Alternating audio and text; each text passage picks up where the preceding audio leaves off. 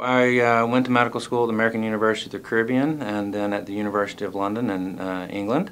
Uh, and then I, I, finished up my residency at the University of Tennessee. We chose to come here to MUSC in, in Charleston area uh, because of the wonderful culture, uh, the, the great um, uh, weather, of course, and then, of course, the great medical care that MUSC has to offer.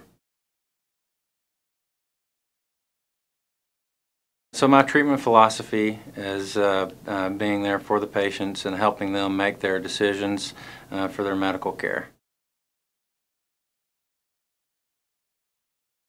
Uh, you know, I like a wide range of, of uh, a lot of different areas of family medicine, from sports medicine to geriatrics to pediatrics. I do have a special spot for doing wound care. I've done wound care for about 10 years, uh, dealing with diabetic ulcers, pressure ulcers, and things like that. So that's probably one of my more um, areas of that that I really enjoy uh, helping people with.